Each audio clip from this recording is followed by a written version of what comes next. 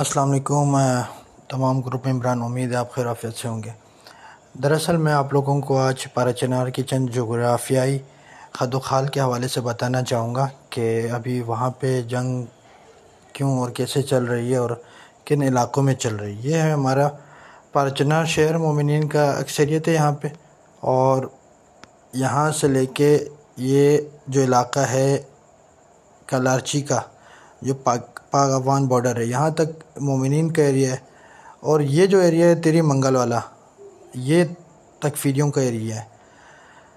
تو پاراچنار سے جو ہے ہمیں ہم اگر دیکھیں تو اس طرف جو بارڈر تری منگل کی طرف، یہ ایک دو گاؤں جو علاقے ہیں تری منگل اور یہ سورسانگ وغیرہ، یہاں پہ تکفیریوں کا ایریا یہ جو پیواڑ ہے، یہ شہید عارف الحسینی کا گاؤں ہے۔ اور یہ آخری گاؤں ہے مومنین کا۔ اس کے بعد آپ دیکھیں امام بارگاہ، امام با، امام بابا شرائن علی علی شری اور یہ پیٹرول پمپ وغیرہ، یہ ش یہ جو شلا زون کا ایریا ہے اور خارا خیلہ کا ایریا ہے، پارا چنار ہے اور یہ اوپر مولانا، ملا باغ، زیران، علم خاص، ٹولہ، یہ سارے ایریے مومنین کے ہیں۔ پارا چنار اسپورٹ کمپلیکس، مسجد امام حسن اور واپس ہی ہم یہاں آ رہے خلارچی یہ آخری علاقہ یہاں پہ سیدوں کی اکثریت ہے۔ اور کنج علیزہ، یہ سارے مومنین کے، صرف یہ ایک ایریا ہے۔ مومنین کا تھا، وہ شعرہ یہاں پہ آرمی نے قبضہ کر کے جان بوجھ کے تکفیریوں کے دیا۔ لیکن یہ ایک گاؤں بوشیرہ کے علاوہ آگے ادھر جائیں مین روڈ پہ پارا چنار والے روڈ پہ نا۔ دیکھیں پارا چنار سے آپ سیدھا آئیں گے شبلان تک۔ اور یہ کلارچی جو ہے بارڈر سے لے کے کلارچی بارڈر جو ہے ہمارا ادھر جو ہے کلارچی سے جو سیدھا آتے ہیں آپ بوشیرہ کی طرف، بوشیرہ سے سیدھا شبلان کی طرف جاتے ہوئے بیچ میں سے یہ گاؤں بوشیرہ تکفیریوں کا ہے۔ اور اس کے دریا پار جو نظر آ رہا ہے، مال خیر اور اکا خیل، یہ تمام مومنین کا شبلان گڑھ ہے۔ یہ مین روڈ جا رہا ہے، ٹل پارچنار روڈ یہ سلطان علم امالا کوٹ، سلطان کنڈا گوسار اور سمیر عباس زیارت۔ یہاں تک آپ کو میں دکھانا چاہ رہا ہوں، یہ اگر ہم یہاں اس کو میں نا لوکیٹ کر دیتا ہوں۔ اب یہ دیکھیں، پارچنار سے لے کے یہاں تک کا جو ایریا ہے نا، مومنین کا گڑھ ہے یہ۔ اس کے بعد، یہاں پہ ایک پل نظر آ رہا ہوگا آپ کو، دیکھیں۔ اس پل، یہ جو پل ہے ٹل پارچنار والا روڈ، یہ پل یہاں سے یہ جو رستہ جا رہا ہے، چھوٹا سا آپ دیکھیں، میں آپ کو دکھاتا ہوں۔ ابھی جو مومنین نے جس ایریا کو کلیئر کیا حملہ کر کے کلیئر کیا، وہ یہ والا روڈ اس روڈ کو استعمال کیا شورکوٹ نام ہے۔ یہ پولیس اسٹیشن ماہورہ نظر آ رہا ہے؟ آپ کو لکھا ہوا نظر آ رہا ہوگا۔ اس اس ایریے سے گوسار اور گوسار اور سمیر آباد زیارت اور پوجی قلعہ سمیر کے سامنے دریا پار۔ یہ ماہورہ جامع مسجد، تمام مومنین کا ایریا یہاں سے جو روڈ ہے، خفیہ جا رہا ہے۔ کچا پکا رستہ پہاڑوں کے بیچ میں اور یہ رستہ سیدھا سیدھا سیدھا سیدھا جاتا ہے۔ یہ محدود توری لکھا ہوا نظر آ رہا ہے، یہ بھی مومنین کا ایریا ہے۔ اور یہاں سے یہ دیکھیں، یہ چھوٹا سا ایک روڈ ہے۔ یہ روڈ جاتا ہے سیدھا آپ کو لے کے علیزائی۔ یہ مومنین کا علاقہ ہے۔ اب یہ جو علیزائی ہے نا، یہاں پہ کیا ہوا ہے میں آپ کو بتاتا ہوں۔ جس دن، چار دن پہلے جو پشاور جا رہا تھا، پارا چنار سے جو کانوائی جا رہی تھی، اس میں تکفیریوں نے کیا کیا ہے؟ اس بگن کے ایریے میں ان کو شہید کیا۔ یہ لوگ پارچنار سے نکلے تھے۔ یہ رے یہ پارچنار سے نکلے، یہ لوگ ادھر آ گئے شبلان شبلان سے لوگ آگے گئے۔ یہ بیستو یہاں سے خفیہ روڈ نکلتا ہے مومنین کا۔ یہاں سے یہ سدا آتا ہے تکفیریوں کا گڑھ، اس ایریے میں۔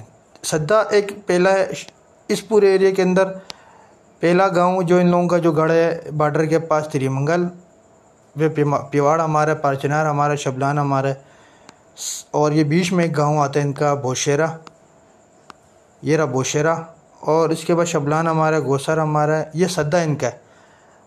کانوائی یہاں سے گزر کے گئی گئی گئی گئی، اس کے بعد علیزائی ہمارا ہے۔ علیزائی کے بعد کیا ہوا ہے کہ یہاں پہ انہوں نے بگن کے ایریے میں انہوں نے مومنین کو شہید کیا اور مومنین کو جب انہوں نے یہاں پہ شہید کیا تو اب کیا کیا جب اس اگلے رات کو آرمی نے جو پارچنار سے آرمی نکلی تھی اور آرمی نے جب آپریشن کیا، وہ اس خفیہ رستے سے کیا تھا۔ یعنی کہ یہ لوگ صدہ کے ایریے سے نہیں گئے تھے، بلکہ انہوں نے شبلان تک آئے، پارچنار سے شبلان آئے۔ شبلان سے یہ گوسر گوسر کے پاس انہوں نے کیا کیا، دریا کراس کیا، پل کے ذریعے یہ شورکوٹ والا خفیہ روڈ کو استعمال کیا۔ اور مومنین جتنے بھی ہیں، انہوں نے اس روڈ پہ سرمایہ لگایا اور یہ جو ایریا ہے نا بائی پاس کر دیا صدہ کا۔ صدہ کا بائی پاس کر کے علیزئی پہنچے۔ علیزئی سے انہوں نے پھر اس خفیہ رستے کو استعمال کیا، کچے۔ مین روڈ جو ہے، یہ یہ دیکھو، ٹل صدہ روڈ کے اگینسٹ دریا پار اس والے روڈ کو استعمال کرتے ہوئے گئے جلامئی والے روڈ کو۔ اور یہاں سے لوگ کرتے کرتے یہ لوگ فوراً ادھر پہنچ گئے بگن کے پاس۔ اور انہوں نے بگن کو کل چار دن پہلے آرمی نے جلا دیا تھا۔ اور آج جو ہے، ابھی آدھا گھنٹے پہلے اس کو اڑا دیا ہے، اس جگہ کو۔ دادا خیل نام کا ایک ایریا ہے، کہاں ہے وہ، کہاں ہے کہاں ہے کہاں ہے؟ داد خیل داد قمر ہاں یہ رہا۔ آج ابھی اس کو اڑا دیا آدھا گھنٹہ پہلے۔ یہ بگن سے آگے یہ ایریا ابھی یہاں پہ جنگ چل رہی ہے۔ اور یہ جو وہ چٹ کلے نام کا ایریا ہے نا، یہاں پہ آرمی موجود ہے اور آرمی مجھے کیا کہتے ہیں، مومنین کو آگے بڑھنے نہیں دے رہی، مندوری کی طرف۔ یہ پیچھے آگے نا جو ہے ٹل تک صرف تین چار گاؤں رہ جاتے ہیں۔ اصل جو مومنین کو پہنچنا ہے اس علاقے میں۔ یہ ٹھل تک پہنچنا ہے۔ اس مین روڈ جو گندگی جو شروع ہوتی ہے نا، یہ کوہاٹ سے آتا ہے روڈ سامان وغیرہ آتا ہے، لوگ آتے ہیں۔ یہ کوہاٹ ہے۔ جو پشاور سے کوہاٹ کوہاٹ سے یہ ہنگو ہے۔ ہنگو کے بعد تھل تک ایریا کلیئر ہے۔ جو تھل کے بعد یہ جو چار پانچ گاؤں ہیں، علیزائی اور تھل کے درمیان یہ جو بگن ہے اور یہ جو چار پانچ گاؤں ہیں، مندوری وغیرہ اور آبی دات دات کمر، وہ چٹ کلے، ان کے اندر سارے پنگے ہوتے ہیں۔ اب کیا کہہ رہے ہیں؟ پرچنا کے مومنین اس دریا، مین دریا کے رائٹ سائڈ پہ چلتے چلتے خفیہ رستے سے یہ لوگ تل تک پہنچنے کی کوشش کر رہے ہیں اور یہاں پہ پہنچنے کے بعد اس تمام پرچنار کے علاقے کو کلیئر کر دیں گے تاکہ آئندہ ہمیشہ کے لیے یہاں پہ امن ہو جائے۔ اور یہاں پہ آرمی ان کا دفاع کر رہی ہے اس ایریے میں وہ چٹ کلے میں آگے بڑھنے نہیں دے رہی مومنین کو۔ اور یہاں پہ ایک بڑی شدید جنگ چل رہی ہے طالبان کے ساتھ۔